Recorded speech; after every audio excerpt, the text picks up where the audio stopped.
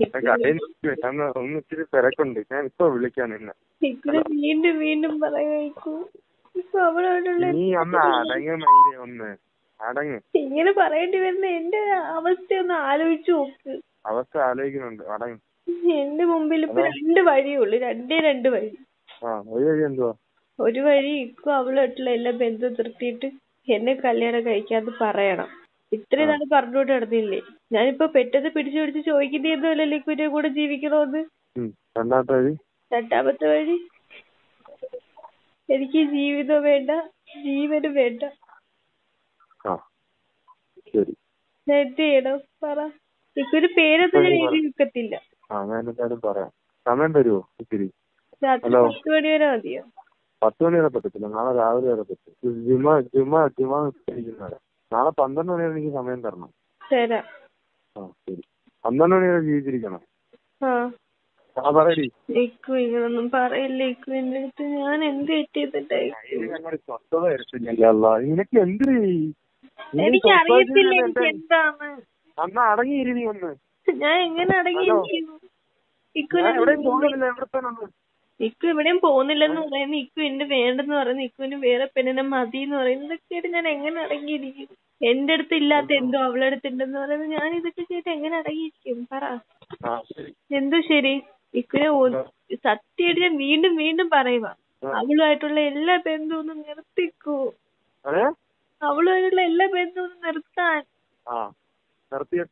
നിർത്തിയിട്ട്? എന്നെ കെട്ടാൻ. എന്നിട്ട്? എന്നിട്ട് എന്നെ കൊണ്ട് പറ്റുന്ന രീതിയിലുള്ള നെയ്ക്കുനെ സഹായിക്കൂ അത് പിന്നെ ഞാൻ വിളിക്കാം നിന്നെ. ഞാനൊന്ന് വണ്ടി ഓടിച്ച് പോട്ടെ മയിലേ ഹലോ? എനിക്ക് ഒരു സമാധാനം നിനക്ക് ഇക്കു? സമാധാനമൊക്കെ സമാധാനക്കേടും കുറവുണ്ടോ? ഒന്ന് അടങ്ങണേ അങ്ങനെയുള്ള എല്ലാ ബന്ധങ്ങളും ഞാൻ തരാം എന്നിട്ട് നിന്നെ ഇങ്ങോട്ട് സുഖമായിട്ട് ജീവിക്കാം. പോരെ? ഇക്കു. ഇങ്ങനെയൊക്കെ ഇപ്പോഴല്ലേ പറയുന്നത്? ഞാൻ എന്നെ ഒറ്റയ്ക്ക് കണ്ട ജീവിതമല്ല ഞാൻ ചോദിക്കുന്നത്. ഇക്കു എനിക്ക് തരാന്ന് പറഞ്ഞ് വെച്ച് നീട്ടിയ ജീവിതാ ചോദിക്കുന്നത്. ഞാൻ ഒന്നും പിടിച്ചു മേടിക്കുന്നില്ലല്ലേ ഇക്കു? ഹലോ? ഇടയ്ക്ക് കയറി ഒരാൾ ഒരു ദിവസം ഇക്കുറി തോന്നിയ തോന്നി തെറ്റിന് ഞാൻ എന്തിനാ ഇക്കു ഇങ്ങനെ കിടന്ന് അനുഭവിക്കുന്നത് ആരോടും പറയാതെ എന്റെ ഉള്ളിൽ വെച്ചോണ്ട് കിടന്ന് ഇത്രയും ഞാൻ നീറി നീറി ഇരിക്കുന്നില്ലേ? അതെങ്കിലും ഒന്ന് ഓർത്തൂടെ. റബ്ബിനാണ് ഇക്കുന് തീരുമാനം എടുത്തില്ലെങ്കിൽ റബ്ബിനാണ് ഞാൻ ഇത് അസർക്കാർക്കെങ്കിലും ഞാൻ പറയും. ഇക്കുറി ഇക്കുരി അഫയർ ഉള്ള കാര്യം. അങ്ങനെല്ലാം പറഞ്ഞാ പിന്നെ ജീവിതത്തിൽ നീ ഒരു ബന്ധം പോലും ഞാൻ വെക്കത്തില്ല. പിന്നെ ഞാനിത് എന്ത് ചെയ്യണം? ഞാൻ ഒറ്റയ്ക്ക് ഇങ്ങനെ നീറി നീറി ഇക്കു പറയുന്ന വാക്കും കേട്ട് ഞാൻ ഇങ്ങനെ ഇരിക്കണോ. ഇക്കുന് ഒരൊറ്റ സമയം മതിയല്ലേ? എനിക്ക് അവളെ വേണ്ട നിന്നെ മതി എന്ന് പറയാൻ അവളുടെ അടുത്ത് ഞാൻ അതിന്റെ കാൽ വന്ന് പിടിക്കാൻ വരെ പറഞ്ഞല്ലേ? എന്ത് സമാധാനപ്പെടാൻ ഹലോ. ഹലോ? നീ പോയില്ലേ? ഇല്ല. എന്ത്? ആഴ്ചക്കൊക്കെ എന്നെ വേണ്ടെന്നു ആ അത് നല്ല കാര്യം എനിക്കെന്താ നീ നല്ല ചെറുക്കനെ നോക്കി പോവാൻ നോക്ക്. അതാ നല്ലത്. നല്ല കുടുംബത്തിൽ നീ പോയി ജീവിക്കാൻ നോക്ക്. നീ ഇന്ന് ജോലി നോക്ക്. നീ ഒരു വാശിയിട് നീ പോടി പെണ്ണേ നിന്റെ പാട്ടിൽ ഞാനാണെ അങ്ങനത്തെ ഒരു വാശിയിലേ പോത്തുള്ളൂ നല്ല അന്തസ്സായിട്ട് പോയി ജോലി ഉണ്ട് നല്ല ഇതായിട്ട് പോയി നോക്കുമ്പോളെ. ആ നല്ലവരെ ആളുകളെ വാപ്പാട് ആളുകളെല്ലാം ഒറ്റ ഒരെണ്ണം ചേരത്തില്ല എടുക്കത്തില്ല എന്നൊക്കെ പറഞ്ഞ് ഭയങ്കര പ്രശ്നത്തിൽ ഇരിക്കുന്നു. നല്ലതാവളെ നീ നിന്റെ ജോലി നോക്ക്. നീ നിന്റെ ജോലി നോക്ക്. നിനക്ക് അങ്ങനെ മനസ്സിനകത്ത് നല്ലൊരു കട്ടി വൈ ഒരു ക- കട്ടി വെച്ചിട്ട് നീ പോയി ജീവിക്കാൻ നോക്കുവോളെ അവനവന്റെ പാട്ടിന് വിട്ട് നീ നിന്റെ നീ നല്ല ജീവിതം. നിനക്ക് നല്ലതായിട്ട് ഞാൻ ദുവാ ചെയ്യുന്നു. നല്ലൊരു ജീവിതം നിനക്ക് കിട്ടും. എപ്പോഴായാലും നിനക്ക് ഞാനും ഉണ്ട് എല്ലാവരും ഉണ്ട്. നിനക്ക് എപ്പോ വേണമെങ്കിലും വിളിക്കാൻ എടുക്കാൻ നിനക്ക് ഇവിടെ വരാം എല്ലാം ചെയ്യാം. ഒരു കുഴപ്പമില്ല നീ നിന്റെ മനസ്സിനകത്ത് നല്ലൊരു ധൈര്യം കൊടു. ധൈര്യം കൊടുത്തിട്ട് വാപ്പായും ഉമ്മായി എന്താന്ന് വെച്ചാൽ അവർ പറയുന്ന ഹലോ? ഹലോ? ആ ആ അങ്ങനെ പറയല്ലേ. അവർ പറയുന്ന ബന്ധമാണ് ഏറ്റവും ഹയർ അമ്മാവ് അതേ ഇതാക്കത്തുള്ളൂ നാല് സമയത്ത് എപ്പോഴായാലും നമ്മളെ വീട്ടുകാർ ചെയ്യുന്ന ബന്ധമാണ് അത് എപ്പോഴായാലും മുന്നിട്ട് നിൽക്കുന്നത് നീ അങ്ങനൊന്നും പറയല്ല. അത് നമ്മക്ക് നമ്മളങ്ങനെ സാഹചര്യം അങ്ങനെ ആയതുകൊണ്ട് നമുക്ക് തോന്നുന്നേ അതുകൊണ്ട് മോളൊരു കാര്യം ചെയ്യും. ഞാൻ ഒരു കാര്യം പറയാം. നീ കേൾ.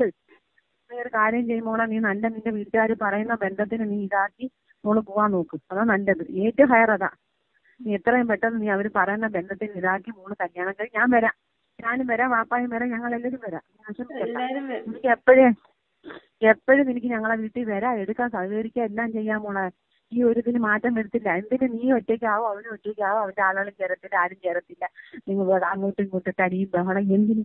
അതിനെക്കാട്ടി നല്ലത് നീ എങ്ങനെങ്കിലും ഇതായി പോവാൻ നോക്കും. നിന്റെ വീട്ടുകാർ പറയുന്ന ഒരു ബന്ധത്തിൽ ഇതാക്കി പൊന്നുമോൾ പോ. എനിക്ക് എപ്പോഴും ഇവിടെ വരാം. ഞങ്ങൾ ആ സഹകരിക്കാം.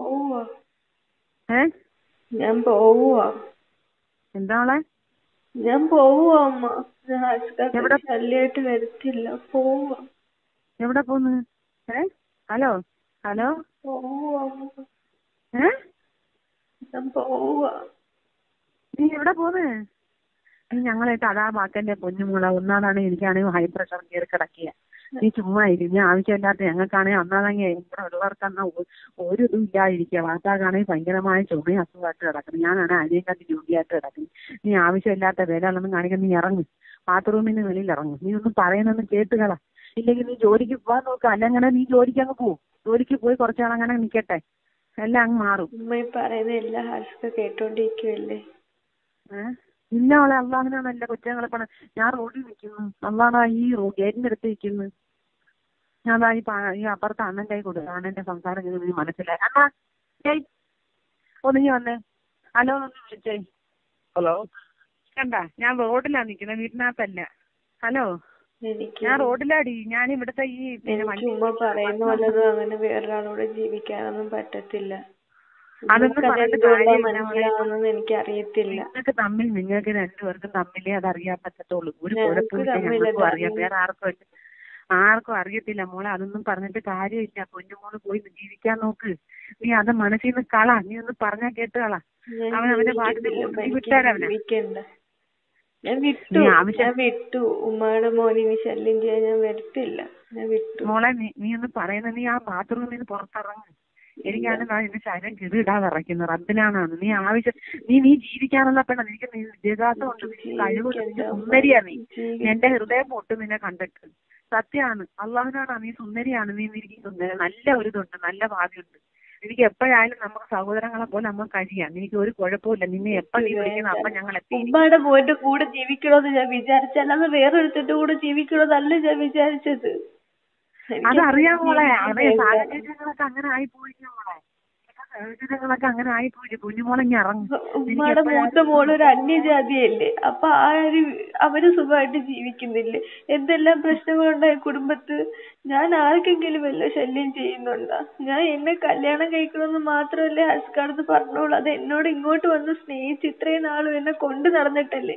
ഒരു കുഞ്ഞിനെ വരെ തന്ന കാര്യം ഉമ്മാക്കറിയാം. എന്നിട്ട് ഞാൻ എങ്ങനെ വേറൊരുത്തിന്റെ കൂടെ പറയുന്നത്. നീ അവർ ഈ പറഞ്ഞ കണക്ക് ആർക്കും ഇപ്പൊ കൂട്ടത്തിൽ ഇപ്പൊ നിങ്ങൾ കല്യാണം കഴിയും എനിക്കാണെങ്കിൽ എന്റെ വീട്ടിലാണെങ്കിൽ ഒരു ബന്ധവും വന്നു കയറിയിട്ടില്ല ഈ പറഞ്ഞ കണക്ക് ആദ്യമായിട്ട് വരുന്ന ഒരു ബന്ധമാണ് അത് സത്യം ഞാൻ മറ്റേത് സത്യം പറഞ്ഞാൽ ഇവൾ നില്ല്.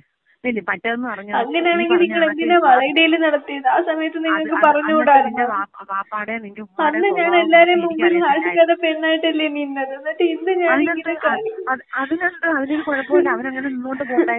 അവനങ്ങനെ നിന്നോണ്ട് പോട്ടെ. നിന്നോണ്ട് പോകും തോറും വർഷങ്ങളും കൂടും. എനിക്ക് പ്രായവും കൂടും. അതുമല്ല വയസ്സും കൂടും. അതിനെ ആമ്പിളിതൊക്കെ ആകുമ്പോൾ പത്ത് അമ്പത്തഞ്ചായാലും കൊണ്ട് കുഴപ്പമില്ല. നീ നല്ല ചെറു പ്രായം നല്ല ഇത് നല്ല ഇതായിട്ട് നീ എവിടെയെങ്കിലും പോയി ജീവിക്കാൻ നോക്ക് പൊന്നുമോളെ. നീ അവനെ കളഞ്ഞു തരാം അവനെന്റെ പാട്ടിന് മുട്ടും. അവന്റെ ആളുകളും ഒന്നും ഇതില്ലാതൊക്കെ എന്തിന്?